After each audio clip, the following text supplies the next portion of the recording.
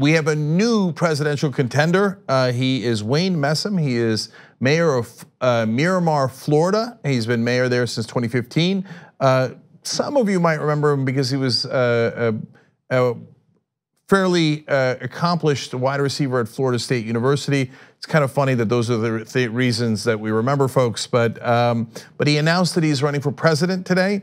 Now you might think, well, I mean, that's a small town in, in, in Florida that he's the mayor. Well, South Bend, Indiana, also a small town, also known for football. And now Mayor Pete Buttigieg has some momentum in the presidential race. So uh, this is an interesting uh, new entrant. And I wanna show you guys his launch video that just came out today. I grew up in the place they call the muck. My mother and father came here to the United States from Jamaica. My father was a contract sugarcane cutter, very hard, intense labor with machetes to cut the sugar canes in the hot sun in South Florida.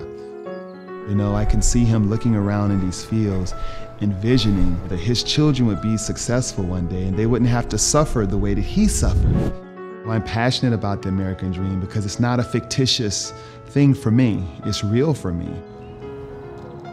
Went to Florida State on a football scholarship. The legendary coach Bobby Bowden and won a national championship there.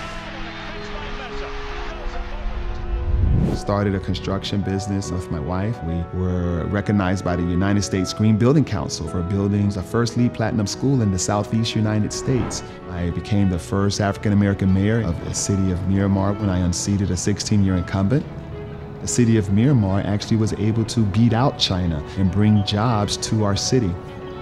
The problem in America, as I see it, is that we are not addressing these high stake problems that we must deal with today. When you have a senior citizen who can't afford her prescription medicine, Washington is broken.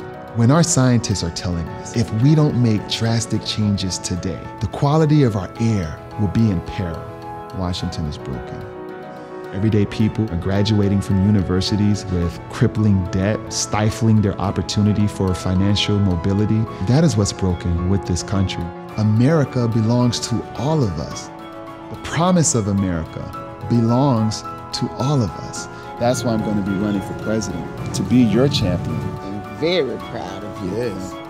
The same prospects of the American dream that my father was able to achieve. We need to bring that back for every American.